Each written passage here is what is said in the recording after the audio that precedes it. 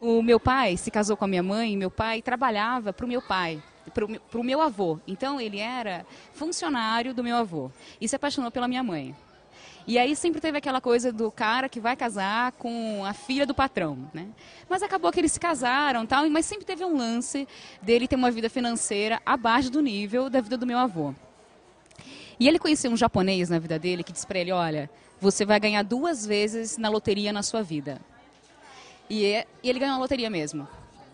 Ele já, já tinha se casado com a minha mãe e ele ganhou na loteria. Já tinha meus dois irmãos mais velhos, o Du e a Carla.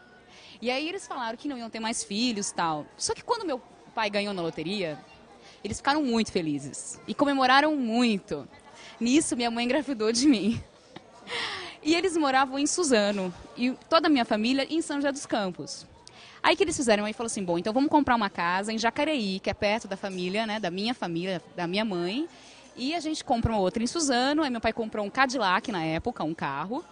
E todo o resto do dinheiro eles deram para o meu avô investir no trabalho deles, porque, enfim, né, para acabar com aquela história de que ele casou com a filha do patrão.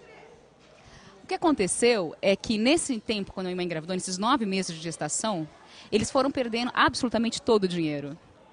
Eles perderam a casa de Jacareí por uma questão burocrática com a imobiliária. A imobiliária tirou a casa deles.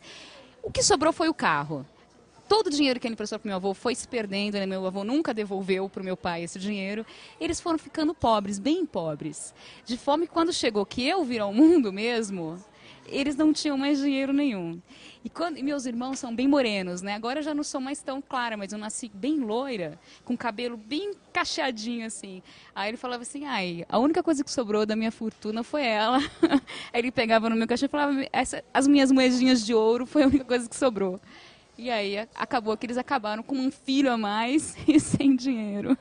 Até hoje ele joga na loteria até hoje, desde agora, já tenho 30 anos, ele continua jogando loteria toda semana.